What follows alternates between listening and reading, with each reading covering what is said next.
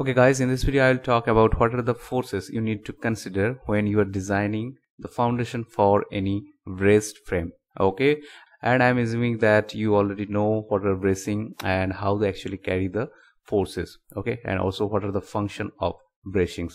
Okay, so in this video I will discuss what are the special forces that need to be considered when you are designing any foundation for any braced frame compared to non-braced frame okay so if you're new to this channel please do subscribe and also press the bell icon so that in future you can be benefited. Okay so at the very first consider this particular uh, longitudinal frame of any pipe rack. Okay here you can see that we have used a braced frame at the middle of this rack.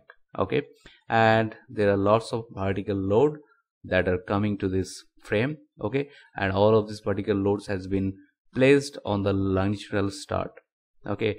And in association with this vertical load we also have some lateral load like this.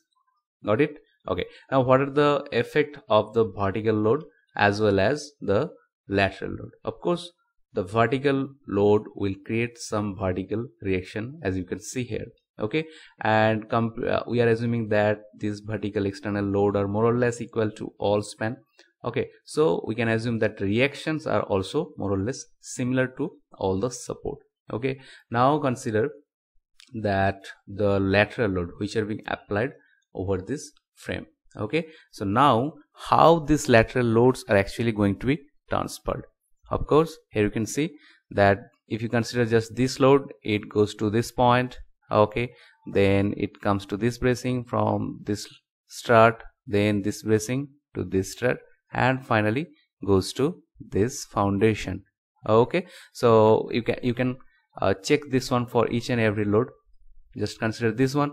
So for this load it directly goes to this point then from here to this one. Okay this is the shortest path. And now let's say you have some another lateral load which is acting in this direction. In this case it will go to this point then this one then this one to this foundation. Okay. So for lateral load we will have a reaction like this. Got it? Now what are the component of this inclined reaction? Of course due to this inclined reaction we will have some horizontal component as well as some vertical component. Okay. The same is also applicable for another bracing too okay. Now compare the vertical load condition and the lateral load con condition simultaneously okay. So here you can see that uh, for this non-braced column here you can see for this non-braced column we have only vertical reaction. Okay. There is no such reaction for lateral load in this non-braced column. But for this braced column here you can see we have vertical reaction for this vertical load external load. We have some vertical reaction as well as horizontal reaction due to this lateral loads. Okay? So of course this two particular column demands a heavier foundation. Agree? And not only that you need to uh, consider this lateral load in the form of shear force. Okay? To design the foundation. Okay? So now let's say we are using simply pile foundation okay? So for this column this column this column and also for this one this one and this one it is sufficient to provide the pile which is capable to carry this vertical reaction only. Okay? But here we have to provide the pile so that it can cater this shear also.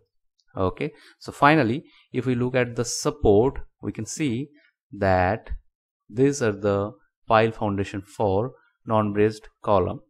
Okay. But for this particular two column we need to use some heavier foundation something like this one. Okay. So that's it. If you like this video don't forget to share it and also don't forget to give a thumbs up